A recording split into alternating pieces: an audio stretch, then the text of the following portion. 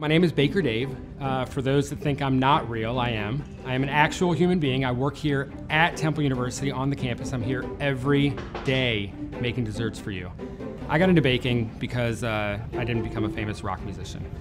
So I used to have a band in high school, and that was the fallback was, well, you can take a year off, but if it doesn't work out, you got to have a career. So I was signed up to go to culinary school.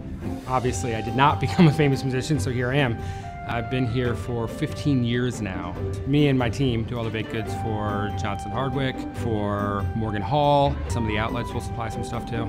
On a daily basis, we probably go through about five or 600 servings of brownies, maybe 1,200 servings of cookies. We can do upwards of 10,000 cookies within two days just for graduation. As you're decorating a cookie, if you're not completely stressed out and concerned about how this little detail is coming out, even things that nobody can see, if you're not completely stressed out and ready to throw the cookie against the wall, then you're not really, you're not into the cookie enough. One of the things I love about cooking for students and being at a university, I love that they appreciate what I'm doing, I, I always think of college as the perfect time to try new things. So I have an opportunity to expose young people to foods that maybe they wouldn't normally eat. That's fun for me.